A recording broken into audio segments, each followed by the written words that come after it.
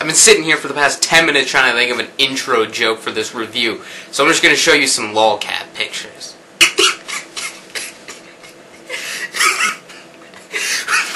that looks like a cat.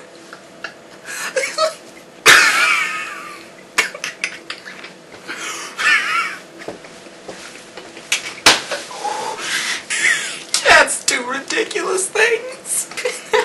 A cat is silly.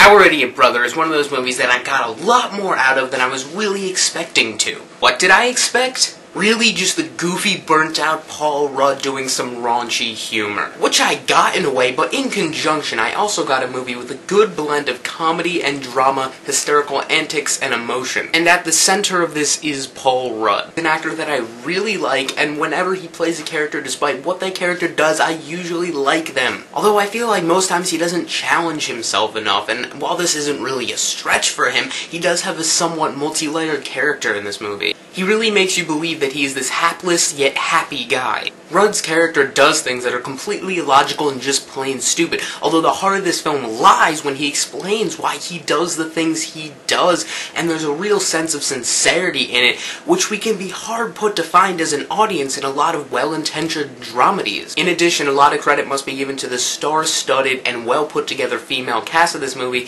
Zooey Deschanel, Elizabeth Banks, and Emily Mortimer are all wonderful. The female cast and Rudd knew exactly what Jesse Peretz, the director, wanted from them and delivered it. They knew their way around this extremely well written script and they knew where this character should start and end up. The movie does have its weak points and that includes what I think is an unfitting and somewhat poorly executed ending. And the movie does lose its balance more than a couple times. Other than that, Idiot Brother is charming, funny, smartly written, deep, and an all-around good movie. And I'll give it an 8.5 out of 10.